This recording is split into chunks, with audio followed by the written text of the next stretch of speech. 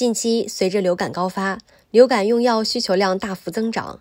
一款名为马巴洛沙韦的抗病毒药物被称为抗流感神药。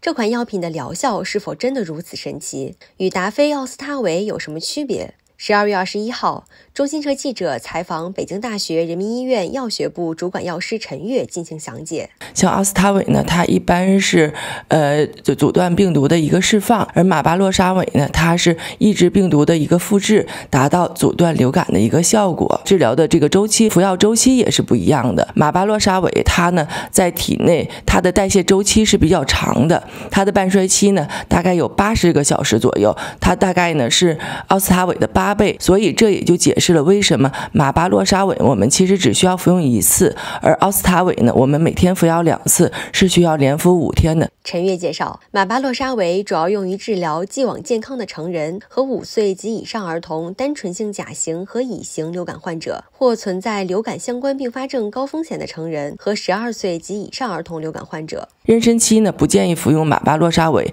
因为它相应的临床证据呢还是比较少，权衡利弊呢是可以考虑服用。奥司他韦的相对安全一些，还有就是哺乳期不建议服用马巴洛沙韦，但是奥司他韦在哺乳期的分级是 L 级，是相对安全的。公开资料显示，进口马巴洛沙韦已被纳入国家医保药品目录，患者自付只需百分之三，一盒两片，售价为二百二十二点三六元。但随着需求量增加，记者浏览外卖平台发现，该药品的售价不断上涨，有的店铺标价为四百二十五元一盒。陈月提醒。不建议患者自行购买该药品，应在医生的指导下，根据各项指标综合判断是否适合服用。呃，说它是神药吧，也不不是完全的。呃，科学吧，它的疗效和它的安全性确实还需要大量的真实世界的研究。我们患者呢，应该在临床医生的指导下，合理的、正确的选择适合自己的流感药物。其实那个流感呢，它是一种自限性的疾病。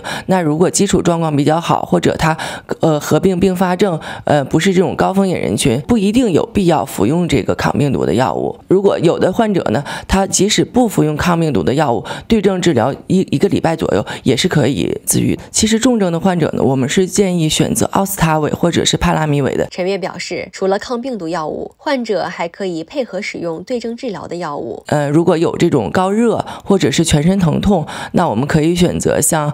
呃，对乙酰基酚呀、布洛芬这样的药，另外呢，就是呃，比如有鼻塞呀这种症状，可以选用含有伪麻黄碱成分的一些药物，像这个氨酚烷胺、氨酚伪麻、氨咖伪麻等等。